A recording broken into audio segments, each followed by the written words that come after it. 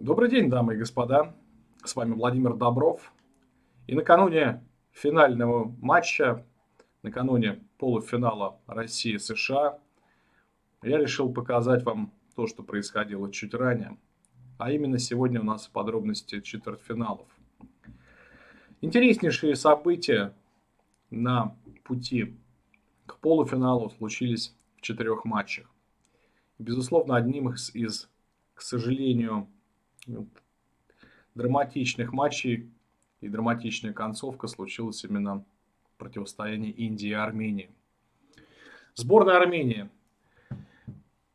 к сожалению, выбыла из соревнований после невероятно совершенно казуса отключения интернета у Айка Мартиросяна в ничейной позиции при счете 2,5 на 2,5.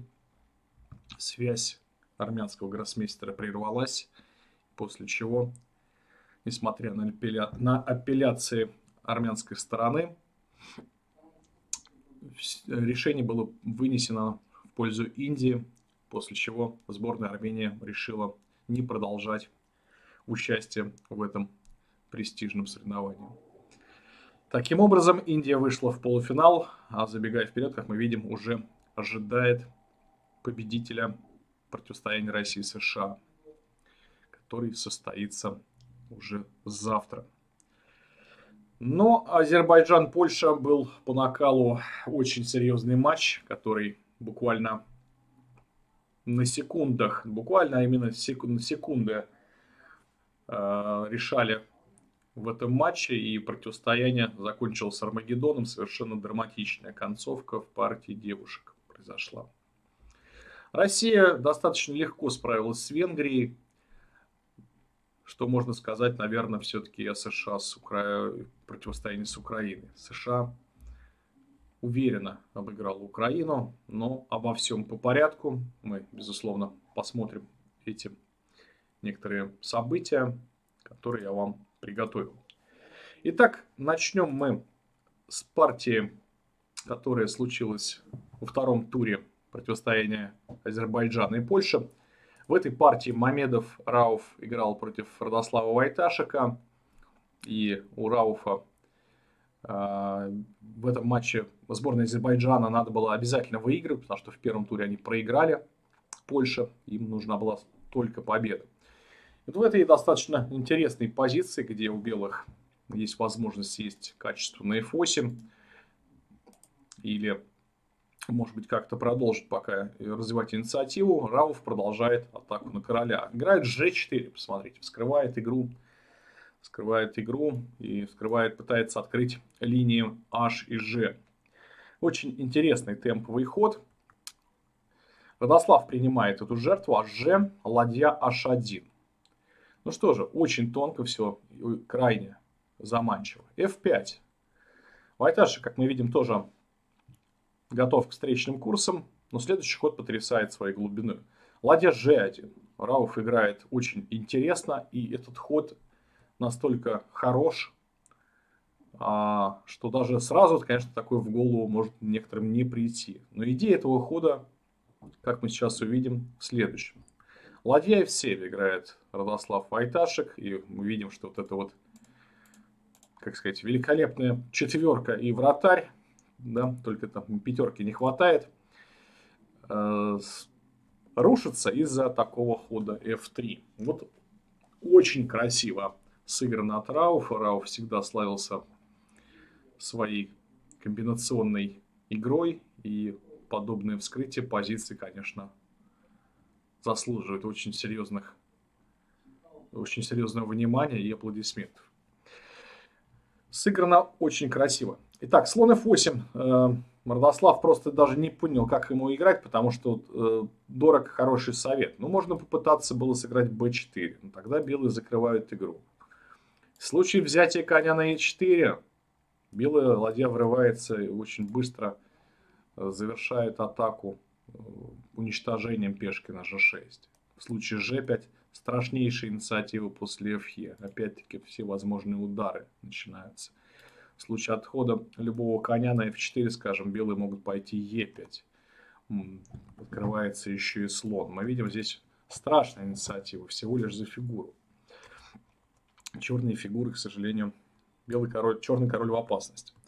Но это Святослав сыграл слон f8, после взятия на f8, конь d6, э, белые сохранили все атакующие действия, несмотря на то, что у них сейчас пока не хватает целых двух пешек, позиция черных уже плоха.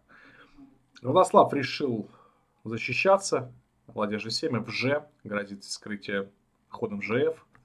Попытался он сыграть, закрыть структуру, но теперь открывается белопольный слон и вторжение ладьи на a6. Опять-таки грозит взятие на g6, ферзь e7 и неспешный ход ладья h1. Можно было сыграть и g5, э, тоже, в общем-то, наверняка фиксировало результат. Но Рауф очень все четко делает после хода ферзь g5. Играет ферзь h2 без всяких красивых эффектных комбинаций. Ну, эффектная комбинация была. Можно было взять слоном на g6, но вполне возможно Рауф не захотел играть, скажем, какую-то такую позицию, там, с учетом времени. Это, в принципе, нормально. Сыграл попроще, попонятней и напал просто три раза на h7. Посмотрите, опять-таки, вот мы в предыдущем обзоре говорили о подобной пушке, только ферзь стоял позади ладей. Конь f6 э, и конь e4. Ну, здесь некоторые изменения произошли. Черные попытались выскочить. В общем-то, наверное, часть перевеса была упущена. Наверное, Рауху надо было сыграть немножко поточнее. Однако, после взятия слон c6, конь g4, немножко активизация черных произошла. Взятие, взятие, ферзь e2, но все-таки король слишком плох, и мы видим атакованный еще e6 и b5, а пешка c уже является проходной. И переключился Рауф на другой фланг. Мы видим еще очень точный ход короля 2. И впоследствии уверенно, уверенно доводит партию до, кон... до результата ходом слон Е8. Ну и вот здесь был, конечно, небольшой казус, потому что после хода король Е8 ферзь Е6 ставила мат в несколько ходов, точнее в 4 хода буквально. Э, но вместо этого Рауф взял на g7, и здесь после ферзь c4, король b1, ферзь d3, король a2, шах, король b1. Практически была ничья, но, э, но вот после хода короля 1 она была да, в этой ситуации. Черные могли сделать ничью ходом ферзь а3 шах, король а2 и ферзь d2. И нельзя уйти от вечного шаха. Но Родослав сделал, э, дал шаг с c2 и после хода короля 3 белые выиграли. Очень симпатичная партия, на самом деле очень глубокая атака. G4 ладья G1 F3 это высший пилотаж. Э, сыграйте как Рауф, попробуйте. Итак, идем к следующей партии, да. Идем к следующей партии, но это у нас уже наша, наша партия Александра Горячкина против венгерской шахматистки Хуан Тантран. Э, и здесь мы видим хорошее положение коня на d4 доминация коня над слоном. Но слон, конь может быть сейчас ограничен ходом e5, поэтому Александр играет f4, обеспечивая таким образом надежное положение. e5, конь f3, e4, конь d4, конь опять-таки возвращается. И вот дальше начинается очень техничное действие от Александра, которое я хочу вам показать. Ладья c5, ферзь d2, угрожает ферзь b4, так и просто ладья c1 Ферзь b6, b3, очень точный ход, отгоняет слона с диагонали, потому как на слон бьет b3, последует ладья b1, и черные теряют материал. Слон b5, ладья c1, и после размена мы видим, что конь занимает доминирующую позицию в центре. Дальнейшие действия Александры э, вполне э, хороши и уверены. Дальше, в общем-то, она очень технично здесь вела партию. Ферзь c7, конь e6, ферзь d7, опять-таки конь d4. Ну и в дальнейшем, по, как говорится, по ниточкам, по ниточкам довела дело до важной победы. Ограничив таким образом и фланг противницы и захватив дополнительные пешки. Отъела очень важную пешку на f5 и вернулась обратно. И дальше, в общем-то, Хуан Тан Тран сдалась. Хорошее достижение стратегического характера для нашей шахматистки. Пожелаем сегодня успеха в матче с Америкой. Следующий пример, который уже другой лидер Но все-таки нашей сборной э, Ян Непомнящий продемонстрировал достаточно крепким шахматистом Виктор Мердыш.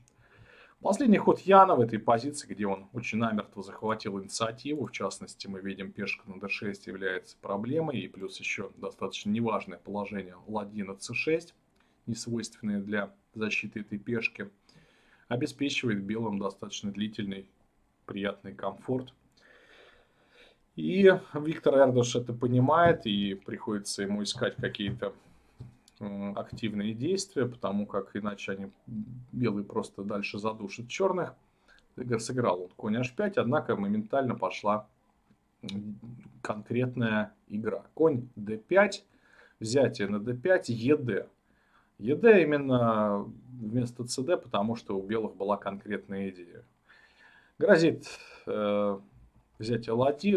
На ладья c8 будет нападение на две фигуры, как в тактическом штурме и белые побеждают сразу, поэтому приходится ставить ладью на c7, неудачное поле для ладьи, но опять-таки единственное. И следует важный ход c5.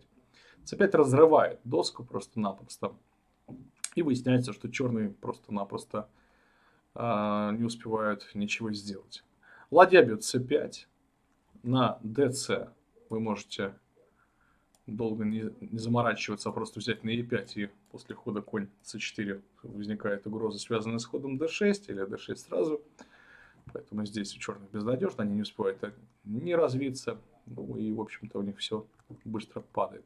Но ладья бьет c5, последовало взятие, ферзь c5. Конечно, позиция выиграна как угодно, но, тем не менее, точность до конца. Итак, Ян играет ладья c1, ферзь b6, дает шах, слон d8 и следует конь бьет Е5. Вот такой тычок, еще один очень сильный ход. ДЕ. Ферзь F5. Нападает на коня. Приходится играть G6. А, на коне F6 э, побеждала ферзь бьет Е5, король D7 и ферзь F5. И, в принципе, там позиция тоже заслуживает определенного внимания. После хода ладья E1 создается угроза ладья Е6, симпатичная. Ну, может быть, черные могли еще как-то эту позицию держать, там, и пытаться как-то упекать королем на d7. Но выглядит все это, конечно, достаточно забавно. Ну, вполне возможно, что это было все не обязательно от Яна, но эффектно. Ян никогда у нас не боялся эффектно играть, и это очень приятно, особенно нашим зрителям. И после хода король d7 Ян сделал потрясающий ход. Ладья c6. Обратите внимание, какой ход сделал Ян. Красивый ход. Э, в общем-то, приятный и радует глаз. Итак, BC, DC. В чем же была идея? Король двойной шаг, король c8 и взятие на h8. Слон связан, конь не играет. Пришлось коню возвращаться на f4. И после ферзь e8 белые создали достаточно простую угрозу. Ферзь d7, ферзь бьет d8. А на коне e6 сыграли b4. Вот такая вот тонкая материя. Эрдыш уже был не в силах противоборствовать этой позиции, потому что ни одна фигура не имеет ходу, хороших ходов. Он взял на b4 и после ладья бьет d8 выяснил, что у белых проходит новый ферзь, что, в общем-то, и случилось. Здесь Эрдыш сдался, и таким вот образом Ян продемонстрировал блестящую технику с красивой эффектной концовкой. И последний пример, который, наверное, самый интересный именно по качеству партии, самый такой насыщенной элементами. В ней, конечно, надо разбираться достаточно глубоко и серьезно. Это партия Антона Корбова с Шенкландом. Итак, здесь была э, известная э, система антимиранов в славянской защите и э, ход слон Е2, реже встречающийся, менее популярный, чем ход слон d3, но опять-таки достаточно ядовитый, видимо. Е4, Е5, и вот в этой позиции после взятия следует ход конь h4, конь направляется в район поля f5. Не так давно идея, в общем-то, это известная. Идея в том, что на b4 белые все равно играют конь f5 и получают колоссальный перевес. В случае bc ладья d1 черного, в общем-то, здесь терпит э, серьезные неприятности. Скажем, на конь e8, возможно, просто ферзь бьет c3. И буквально вчера я играл эту позицию черными, неожиданно вспомнив неожиданно об этой партии вот так вот случается. Итак, поэтому g6 э, сыграл Шенкланд э, не, да, не дал таким образом попасть на f5, но вот последовала конкретная игра f4, конь g4, g3, шах, король h1, э, черные также нападают, конь d1, слон d4, все фигуры начинают подвисать, и основная тематика в том, что черные впоследствии начинают открывать своего слона. Слон f3, c5, e5, вот такой вот боевик, и конь d5 конь d5. Черный направляется в район поля e3, конь пока на g4. Э, его скушать никаким образом нельзя из-за хода конь e3 шаг. Невозможно, э, невозможно его съесть. Итак, поэтому ферзь g2. Опять-таки играет Антон. Но вот идея Шенкланда, она была тоже очень глубока. В общем, видно, что это была все дебютная подготовка. Ферзь d7, h3, h5. Очень красиво сыграно. Конь остается под боем. Антон принципиально его забрал, сыграл слон e4, но следовал, последовал еще один сильный ход f5, ев и ладья e8. Вот такой вот совершенно дикий боевик на доске, и справиться, понять вообще, что здесь происходит, не так-то просто. Одна из идей черных, естественно, это взятие на e4, используя таким образом связку по большой диагонали. Поэтому Антон уходит королем на h2, следует взятие на f6, и после чего подготавливается ход g5, одна из возможных угроз черных. Конь f2, g5. Позиция достигла, как говорится, пика. И мы видим, что разобраться в ней очень непросто. И, конечно, вы можете поставить на паузу посмотреть на нее несколько раз. Может быть, она как-то вам поможет. После fg последовал ладья f2, ладья f2, слон f2, Ферзь f2, это практически единственные ходы. Ладья бьет e4, слон d2. Таким образом, белые простились, как говорится, с лишним материалом, но попытались консолидировать позицию. И ферзь e6, создавая угрозу ладья e2, вторжением на e2 крайне неприятно, поэтому ладья e1, и после чего возник форсирован такой эншпиль, который, конечно, оказался в пользу черных. Полагаю, что анализ Шенкланда здесь не закончился, зная его э, лично.